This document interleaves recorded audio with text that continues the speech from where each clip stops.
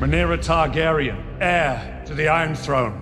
I've never done a, a, part that I've shared with an actor before. Even when you're not kind of watching that work, you are building something together.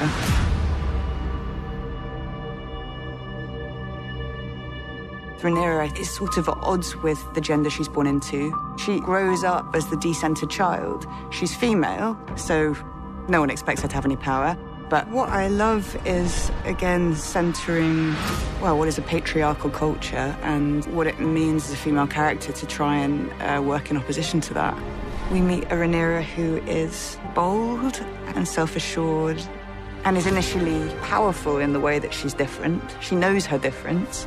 I think the thing that I adore about it is that it's so rooted in, in the domestic and the familial.